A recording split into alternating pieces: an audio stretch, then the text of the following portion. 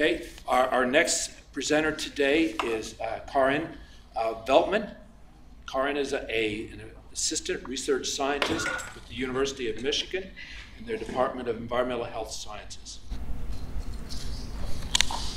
Okay, good morning everyone. Um, I'm going to talk today about nitrogen and phosphorus use efficiency in US food supply chains. I first want to thank my co-authors, Andrew Anderson, Carolyn Mattick, and Olivier Jolliet. So it's well known that fertilizers, particularly nitrogen and phosphorus, boost crop production worldwide, and they're important to sustain and enhance food production to feed a growing human population. However, over-application and relatively inefficient nutrient use by crops and animals has resulted in relatively large losses of nitrogen and phosphorus. And these can impact the environment, uh, particularly air pollution due to ammonia emissions, they can form smoke. Uh, losses of nitrogen and phosphorus by leaching, erosion, and runoff can contribute to eutrophication of coastal zones and lakes, freshwater lakes. Nitrous oxide emissions can contribute to climate change, and particularly for P.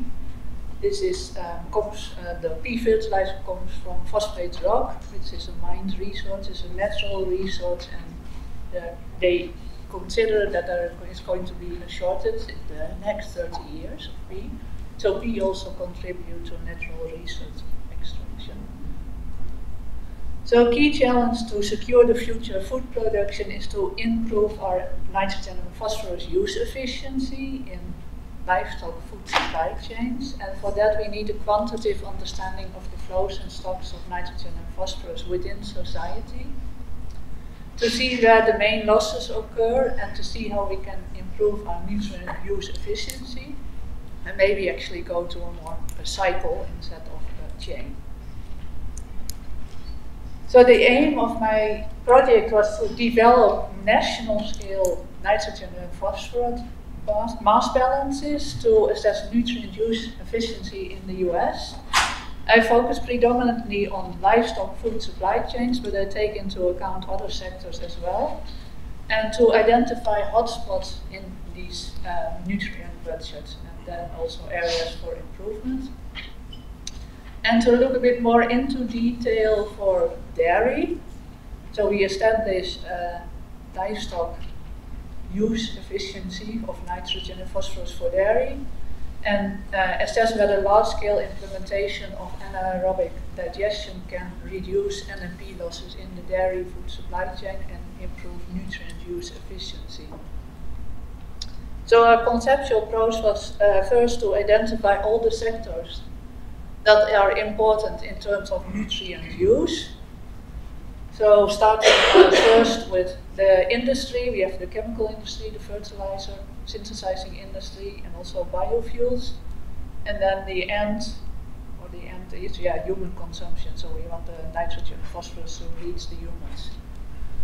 Agriculture, of course, is there. Um, we try to um, do this livestock category specific. We had six livestock categories. So I had uh, for the poultry, I had as well the meat and the layers. Uh, we try to do the waste management, livestock category specific. Then they have the processing industry, retail, uh, households and other consumers, finally human consumption. Uh, specifically for nitrogen, energy and transport is really important in terms of uh, nitrogen use and nitrogen emissions. And we try to quantify all the nitrogen and phosphorus losses to the environment, to air, to natural soil hydrosphere. Uh, all the flows are quantified in kilotons N and kilotons P. Uh, first starting with the fixation, so fixation of nitrogen from air to synthesized fertilizers and biofixation of N2 by crops. And the natural resource for P, as I said, was mining, so that is used to synthesize fertilizers. Uh, fertilizers are then applied to soil by to pasture. Those nitrogens are hopefully taken up by crops. Crops are eaten by livestock, they also go directly to the human food processing industry. the livestock produces products that also go to the food processing industry. Processing industry produces the products that go to retail, retail goes to household, and finally to human consumption. Uh, we also quantified internally flows uh, manure excretion on pasture and on soil. or no, not on soil, to the waste management system, of course. And then we quantified, as I said, that we try to quantify all the emissions that occur at each of the different sectors. To air, to natural soil, and to the hydrosphere, and then specifically for the households, we also have waste that goes to the municipal waste management system.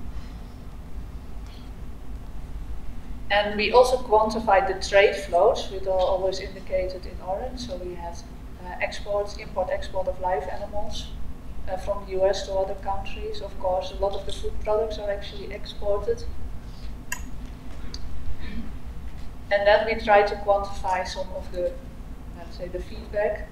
Uh, so there is some of the, the biosludge that is applied again onto soil. Uh, there are a lot of byproducts from particularly from the meat and the crop processing industry that are eaten by livestock. And of course, the distillers' grain are also eaten by livestock. So to quantify these flows, uh, we mainly connect the data from national databases from the USDA, um, from peer-reviewed literature, and if this was not available, we supplemented it with data from industry reports.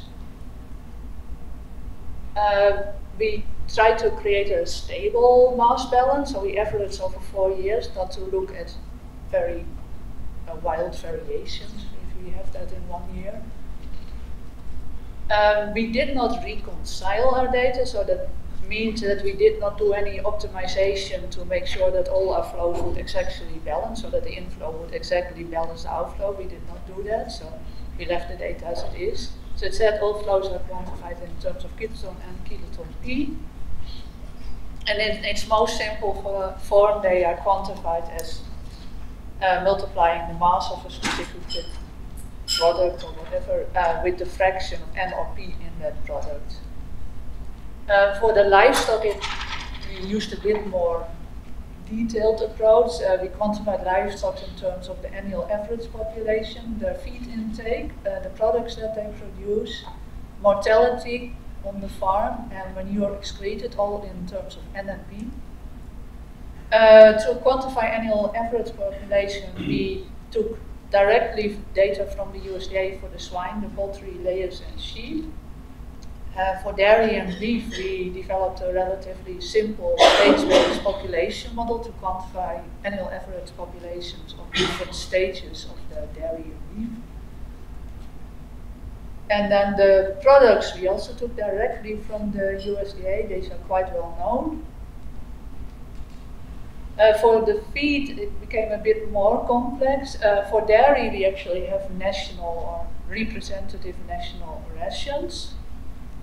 Uh, for the other animals, that is not available, so we quantified the total available national, uh, the total available feed on a national level, and we subtracted from that the dairy, and then we have some leftover feed that we partitioned to the other animals, and that was done based on their energy requirements. So we created their energy requirements. For pig and poultry, we also looked at their P requirements. And we separated the feed, of course, into forage and concentrates to make sure that the pig and poultry would not get forage to eat. So that's a relatively simple approach to uh, partition the feed on a national level. And then we calculated nutrients excreted with manure based on the national feed intake for a specific livestock category minus the products that they produce, the nutrients in products minus the nutrients in the mortality.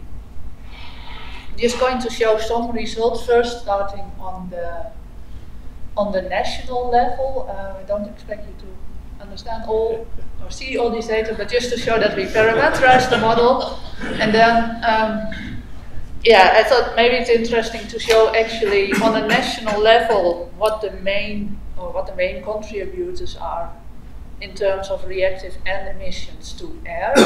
so looking at all the sectors that we have on the national level, what contributes most to reactive N emissions. So we have the nitrous oxide, ammonia, NOx emissions. Um, what you can see, ammonia mainly comes from, it's from manure fertilizer application on soil, from manure excretion on pasture, and then from ammonia emissions from the waste management system. And so it's a bit the same.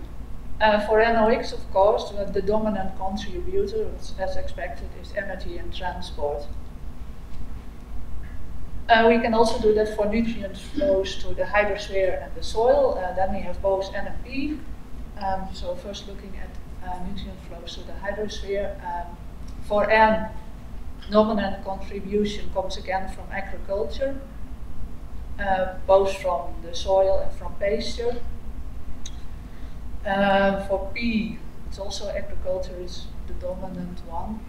And then um, with the losses to the natural soil, we have some contribution uh, from households. And that is mainly because um, households, they, uh, they buy fertilizers and apply them on lawns. And it's, it's not only households, I have to say. Households is really the aggregate of households and other consumers, so it also includes fertilizer application on golf parks or wherever you can apply fertilizers. There's also a big contribution of uh, pets, so this is excretion of feces, urine by pets.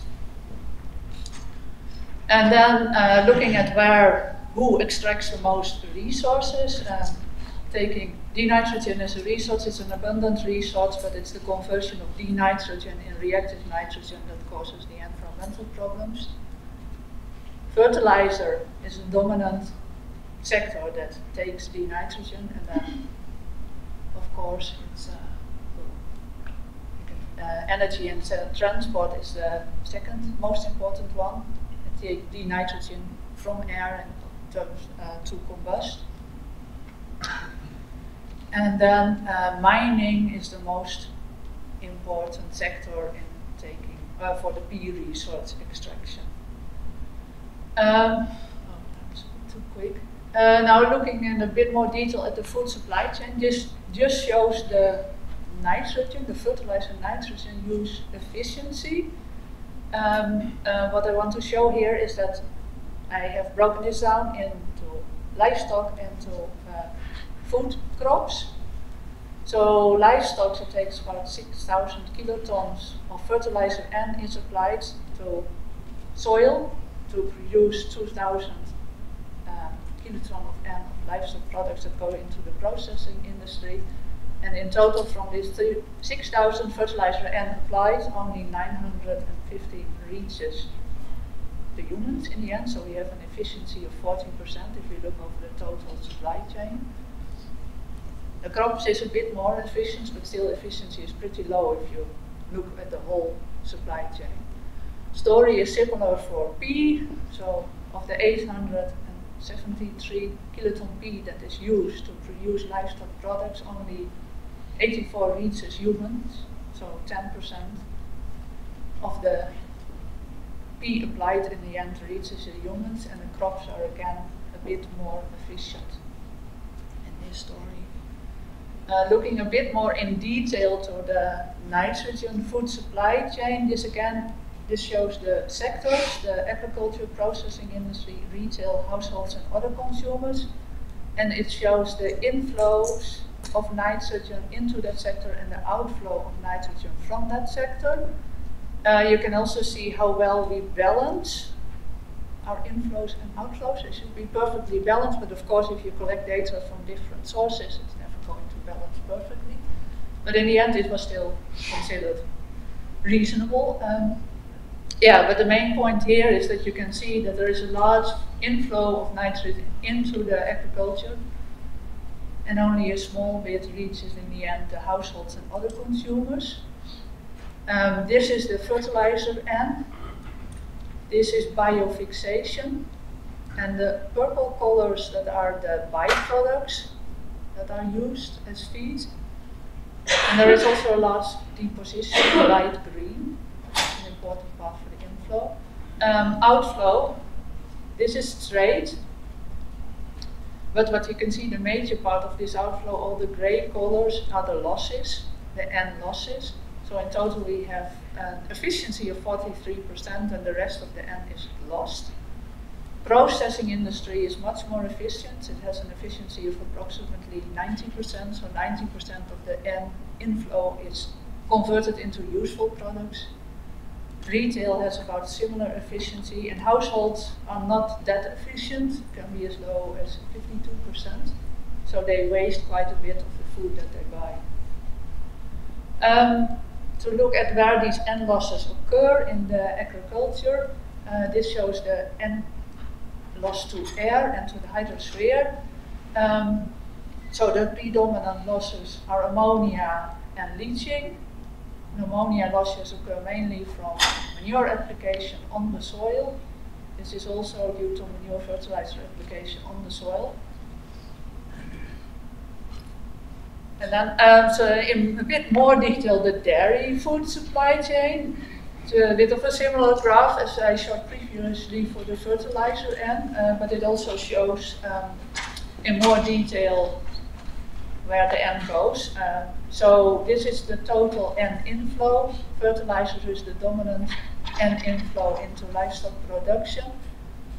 Um, livestock produces products. The products go into uh, the processing industry, and here this is both milk and culled animals. So I summed the two that go into the processing industry. And again, we can look at the efficiencies of the different stages. So again, agriculture is the least efficient. It has an efficiency of 46%. So only 46% of the total N inflow is converted into useful products. And useful products means both the milk and meat, as well a counted manure as a useful product. And there are the dairy cows that go into the beef uh, supply chain, so that's also a useful product. So there is a large loss here. And if you compare the different losses here, you can see that the largest N losses occur in agriculture. So uh, previously uh, I showed for the total food supply chain that production and retail are relatively efficient. The same is true for the dairy. The processing industry has a very high efficiency. Uh, that's also because a lot of the, or some of the byproducts go back into the feed. And then we also have some uh, inedible parts that are actually used uh, for to make pet food. They go to rendering. We have some hides that are produced. So processing industry is really efficient, and then when we come to the end of the chain, we can see that the household and consumer are less efficient. So really, the least efficient parts of the food supply chain are really agriculture and the households and other consumers. And then we developed uh, a scenario to see if anaerobic co-digestion uh, of manure and food waste could improve nutrient use efficiency by dairy. Uh, this is a future scenario. It was based on information uh, from Informa Economics. And uh, they provide information about, give information about uh, the number of digesters that they think can be implemented in the future how much food waste can go through this co-digestion. And what is also a key aspect here is that they say uh, some of these nutrients can be recovered from the digestate and they can be applied as fertilizers. And um, so that's a key aspect here, so we can replace some of our synthetic fertilizer use. So this gives uh, some preliminary results for really the maximum theoretical potential to reduce fertilizer use. Uh, we get a total recovery of 300 kiloton for N and 134 kiloton for P. Um, if we assume that this can replace fertilizers on a one-one basis, we have a uh, fertilizer avoided for the total agricultural production of 2.9%, 7.8% for P. And if you just apply only those fertilizers for the dairy livestock, of course, you can have a larger um, percentage of fertilizer avoided. There are also some reductions in nutrient losses because we replace some of the fertilizers and we uh, change our waste management system by doing so. So the major conclusions are that N and P losses mainly occur in agricultural production, predominantly due to fertilizer and manure application on croplands. In relatively terms, households are also not very efficient, but their waste is small in comparison to agricultural waste. And improving N and P efficiency should focus on recycling and reusing N and P losses from manure and fertilizer application. Um, show that anaerobic co-digestion has a potential to reduce fertilizer application. Uh, we find a maximum theoretical reduction of 22% for N and 64% for P if we apply all those fertilizers to the dairy production. For total agriculture, actually the benefit is smaller. And we think that combination with other beneficial management practices is essential to improve nutrient use and phosphorus use efficiency in the dairy and in the total food production. I'm sorry I went a bit over time, but I want to acknowledge my sponsors and thank you for your attention.